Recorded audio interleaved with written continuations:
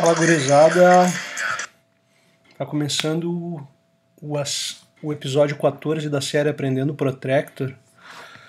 Hoje é o som de Matanza, em homenagem ao meu brother Anderson que tava aí e baixou esse CD novo pra mim aqui.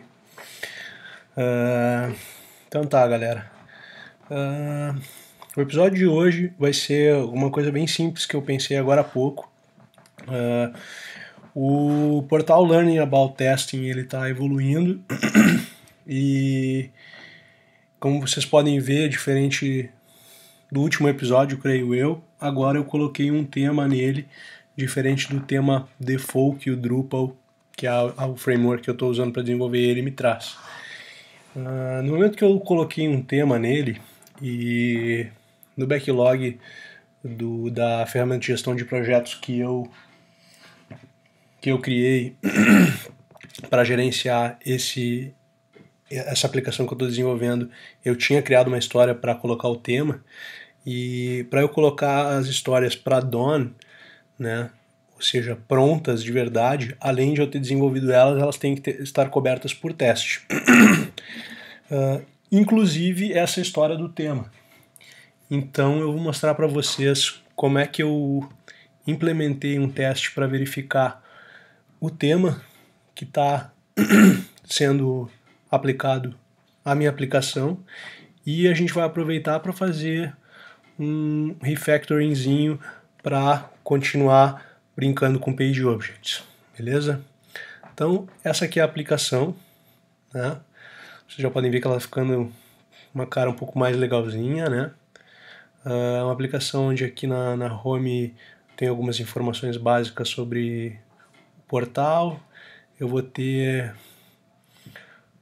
uma lista de, no, de novidades sobre o que está acontecendo pelo, no mercado de teste de software, de qualidade e afins.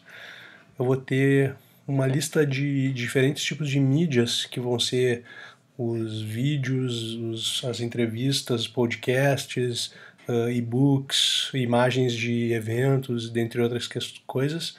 A gente vai ter aqui o linkzinho para o blog que por enquanto está me direcionando para o Talking About Testing, formuláriozinho de contato e o meu formuláriozinho de login.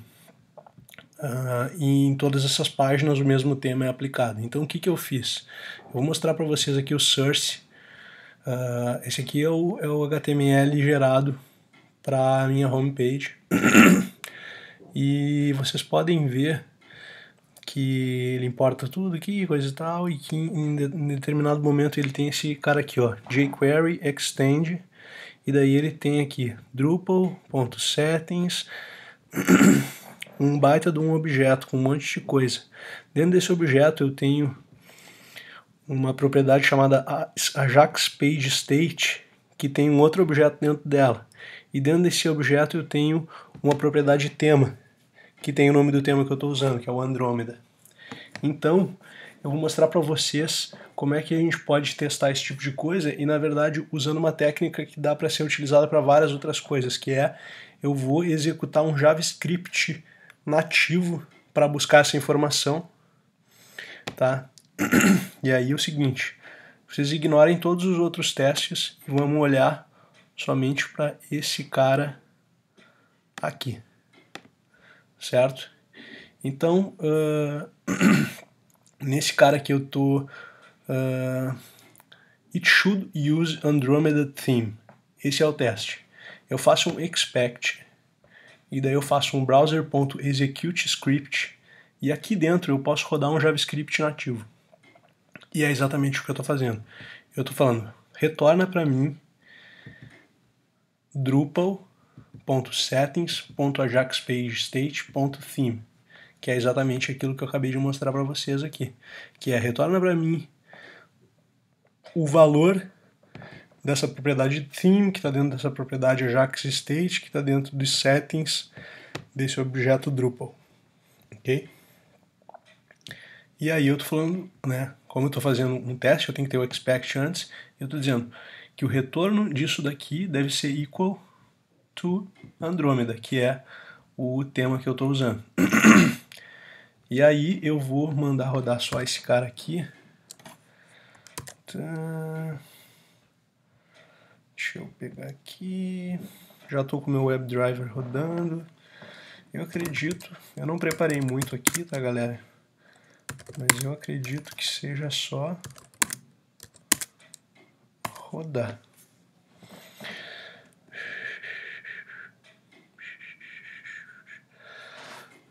Já era, rodou rapidão, porque é como é só a execução de um JavaScript, mas tá ali, ó, uma assertion, nenhuma falha, que é exatamente esse cara aqui que ele rodou. mas, como em todos os outros testes a gente está usando PageObject, uh, e nesse cara aqui não, a minha proposta agora é a gente refatorar juntos esse testezinho bem básico para usar Page Objects.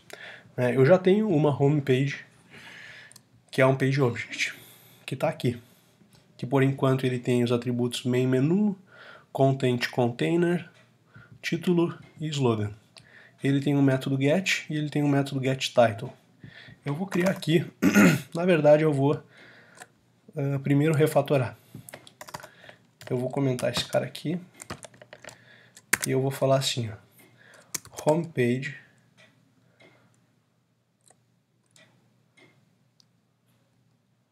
Hum, vou fazer expect. Homepage. Ponto. Get theme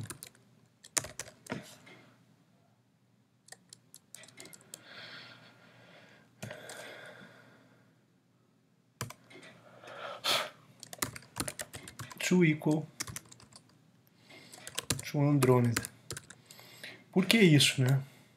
Porque a gente resolveu por usar um padrão de utilizar PageObject e aí também a leitura do teste ela fica mais uh, fácil de entender para uma pessoa não técnica, por exemplo, né? Tu diz ali o teste, a descrição dele é deveria usar o tema Andrômeda e ele tem o expect, ou seja, ele espera que o objeto homepage, quando pegar o tema, seja igual a Andromeda. Enquanto que o cara não precisa entender o que significa browser.executescript, return, drupal.settings.ajaxpagestate.theme, entende? Fica uma linguagem bem mais clara. E aí a gente vai implementar esse getTheme que vai fazer exatamente isso aqui. Certo? Uh... Isso aqui. Então vamos para o homepage, this.getTheme é uma função que executa browser.executeScript que dá um return naquele na propriedade daquele objeto que a gente quer. Eu acredito que esse refactoring seja somente isso. E agora a gente vai ver junto se esse refactoring realmente funcionou. Tendo funcionado, a gente vai acabar o episódio com uma tanza. E era isso. E aí vamos se programando para o episódio 15 que está vindo aí. Um ó. Ele disse que undefined era para ser igual a Andrômeda que, que eu posso fazer? Eu posso. Eu pensei no seguinte. Eu tinha pensado, na verdade, antes no seguinte: expect isso aqui to equal Andromeda. Antes eu tinha pensado, eu já tinha pensado num nome de método antes de fazer o o vídeo, antes de começar a gravar o vídeo, e o nome do método que eu tinha pensado era esse aqui, ó. Checking, check, Drupal theme. E aí o check já faz o expect. Então vamos testar se dessa forma funciona. Se funcionar vai ser bem legal, porque eu acho bacana quando quando não é tão fácil assim de simplesmente fazer e já rodar e já funcionar. Legal quando o cara, né, chega numa situação que tu precisa pensar numa outra abordagem. Então, a abordagem que eu pensei foi essa. E aí vamos rodar de novo esse cara. Agora sim, se acabar, a gente vai ouvir um Matanza. Ixi. Object has no method, check Drupal theme. Tem alguma coisa errada. This ponto check Drupal theme.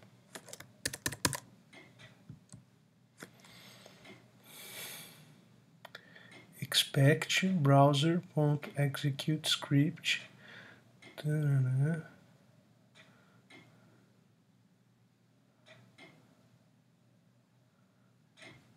to equal to Andromeda. Será que eu não tinha salvo? Porque parece que está tudo certo.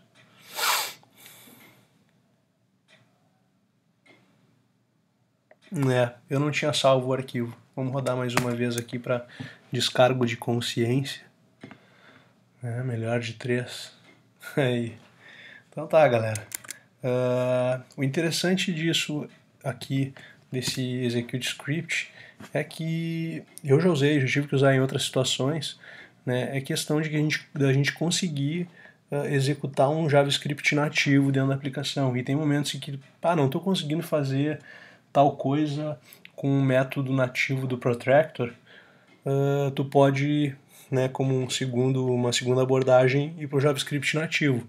Óbvio que o ideal é tentar usar o que o protractor nos oferece. Então tá, galera, hoje, uh, resumindo, a ideia foi mostrar como é que a gente consegue testar, por exemplo, a verificação do, de um tema quando ele está disponível de alguma forma no, no HTML. né, como executar um comando JavaScript nativo uh, utilizando o execute script, o browser.execute script do Protractor e uh, como fazer um, um, um, refactoring no nosso teste para utilizar page objects e para deixar o nosso teste mais fácil de ler. Feito, galera. Conforme prometido, a gente vai continuar aqui com Matanza.